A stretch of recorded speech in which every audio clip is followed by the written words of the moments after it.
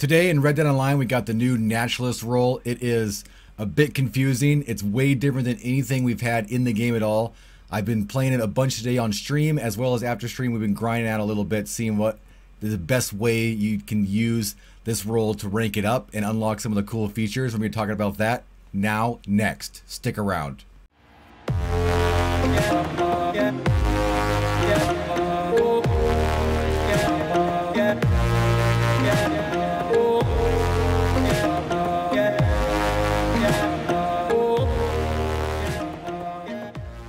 Howdy Cowpoke, Austin BMX here, and if you're like me, you've probably been grinding the Naturalist role, trying to figure out what it is, how to get XP, how to get ranked up. That's what we've been doing all day today, and we got some tips and tricks for you, so stick around because uh, I think I can help you out a little bit. Uh, so first, what is the Naturalist role? The Naturalist role is the newest role in Red Dead Online that just dropped yesterday on Tuesday, July 28th. It is kind of based on the Collector role as far as how it works a little bit and what you need to actually find and collect. But it's a lot to do more, of course, with animals and the environment around you. Uh, first thing you want to do, of course, is go to Strawberry. You'll meet Miss Davenport at the Welcome Center. I'm not going to show you any of that cutscene because it is actually a fantastic cutscene, so I don't want to spoil that for you guys. But definitely go here to the Welcome Center in Strawberry, and uh, it costs you 25 gold bars, same as the Moonshiner role was. So 25 gold bars to get yourself there. When you get there, you will meet Miss Davenport as well as uh, Mr. McMillan, Gus McMillan, who actually is the new trapper in the game. Uh, we'll talk about that in a different video, but you can use legendary animals and things like that to go and create some pretty cool outfits and trinkets for him. I'll show you where they are on the map though. As far as Miss Davenport, once you meet her in Strawberry, there are three locations you can get to her. One here is in Wallace Station, as you can see right there. Uh, one is all the way down by McFarland Ranch, as you can see at this spot right there.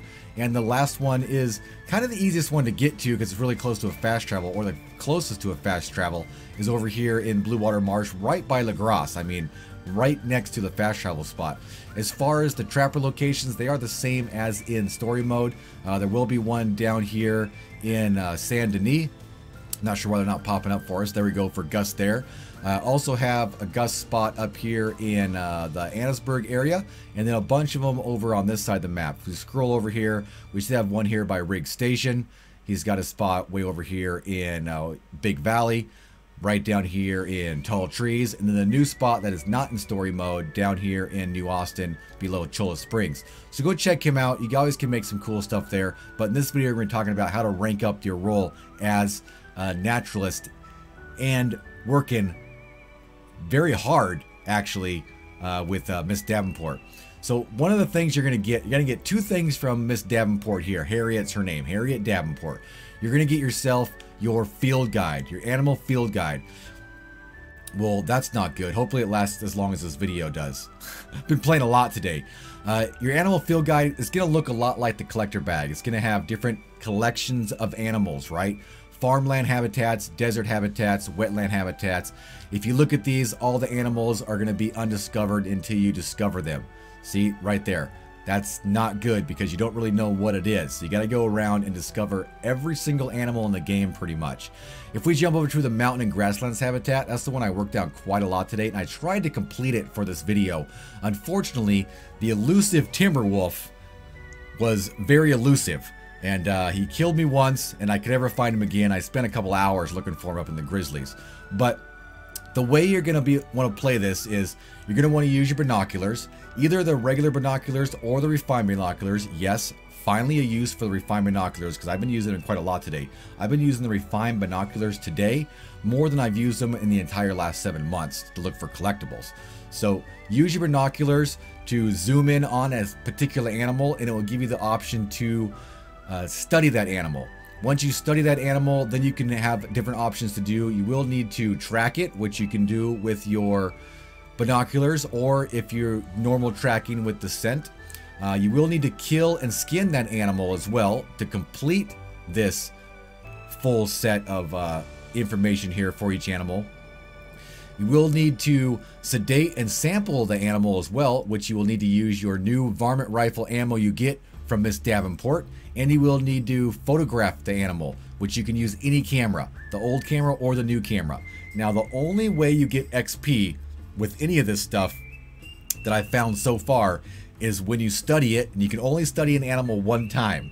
You can only study an animal one time. You can do everything else in this list as many times as you want.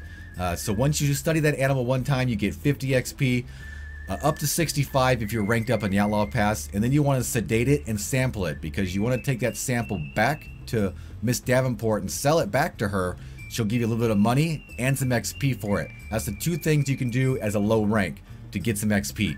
You can study as many animals as you can and get their samples and get them back to Miss Davenport here. It's not much XP, it's a little bit of a grind to get going. Uh, so there are a few different ways you can get a little more XP. If we go talk to her real quick, if she's even around, Miss Davenport, are you here? She does have missions.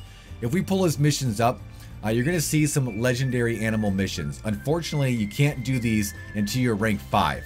Uh, so you have to get to rank 5 to get to those two, and we'll talk about those a little bit later on. But you can just do poached animals, as you can see down the right. Select poached animal missions. You can do those at any time. It doesn't have anything to do with these. You just hit the X button to do those. Those are kind of like bootlegger missions with the the moonshiner. They just allow you to go to a camp, save an animal, and uh, she'll give you a little bit of XP for that. It's a couple hundred. It's not too bad. We also have the legendary animal map that she will give you. You will get this right when you start the game. Now, right when you start the game, you will go to your documents section and pick up that map.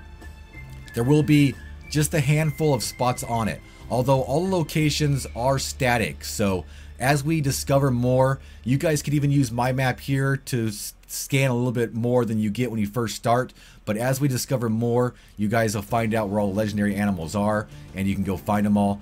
Uh, this gives you a, a designated area to go look. Once you go to this area and roam around, if you're lucky, you'll get the legendary animal question mark to pop up on your mini map.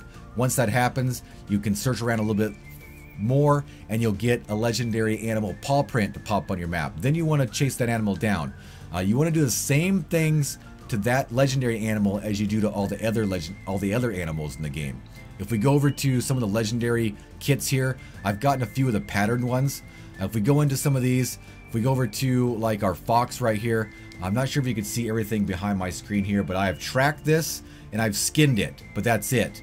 I wasn't able to sedate it and sample it. I wasn't able to study it. That's the main thing you want to do with these legendary animals. Once you find them, get that dang camera out and try to zoom in on it long enough to study it because that will give you XP.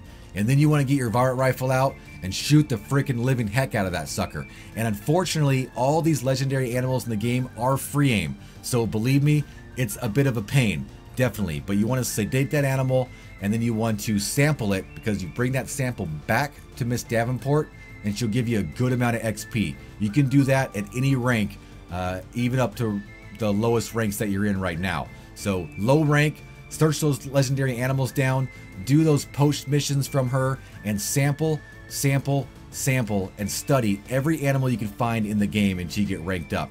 Once you get ranked up a little bit, we'll take a look at a few other things you can look at. If we look at our progress real quick, I am like 8, I believe, right now. I didn't grind too much during stream and stuff today, but after stream, I was grinding like crazy um, to kind of get the gist of this whole role and what we can do to rank it up and help you guys out. Uh, of course, once you get to rank 4, like any role, you unlock the free roam events. There are two free roam events that pop up randomly throughout the day. They're probably not too random, but we don't know the times quite yet. I think one popped up for me right around 8 o'clock uh, at night Pacific time. So whatever time that is for you, that's the one that I did, and they are great XP. Once you get to this rank, I highly recommend if you see any of these pop up, jump into them because I got 500 X, 5 to 600 XP, depending on where you are in the Outlaw Pass, for just completing that mission. And then uh, I got a legendary sample to go along with it. And I went and sold that to Miss Davenport and got another 300 XP. So I think I got pretty close to a thousand XP. I'm, I'm ranked up all the way in the Outlaw Pass.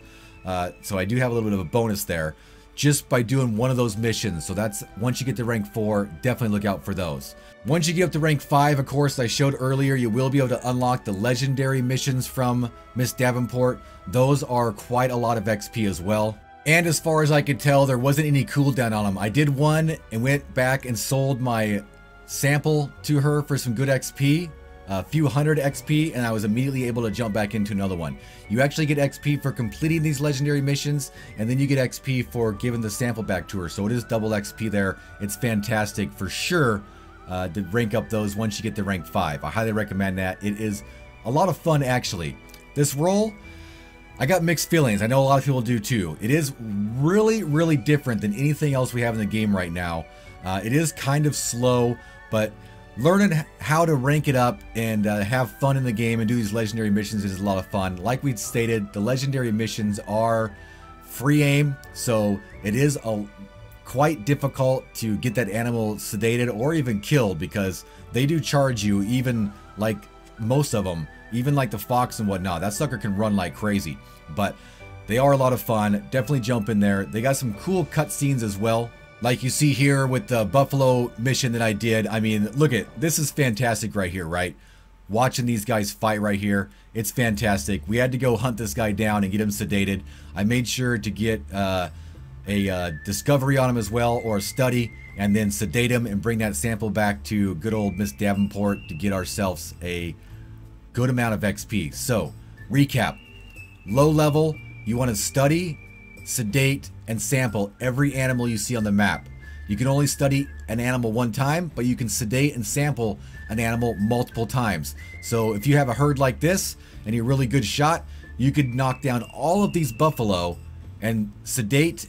You have to sedate them with your varmint rifle and uh, sample them all. Bring all those samples back to Miss Davenport and get quite a lot of XP if you want to grind that out. Once you hit rank 4, I highly recommend jumping in and doing those free roam events when you see them pop up. Quite a lot of XP there. And then once you hit rank 5, you can do the legendary missions like you see me doing here and definitely do those. Again, low level, do the poacher missions as much as you can and the legendaries that from your map as well because the samples you get from those are worth quite a lot of XP. Hey Cowpoke, hope you guys are having a lot of fun like we are. We're kind of feeling it hopefully it's fantastic for you guys. I know it's a lot different in the game, but uh, just play the how it is and uh, play it for what it is and have some fun and go out and find all these animals again. Yeah, just like the game's new and do some discoveries and have a lot of fun free aiming. If you like this video or the tips helped you rank up, make sure to hit that like button. If you're new around here, consider subscribing to the channel for more Red Dead Online content, including tips and tricks, news updates, gameplay, just good old-fashioned fun. Hope to see you on the prairie sometime, but until then, see you later.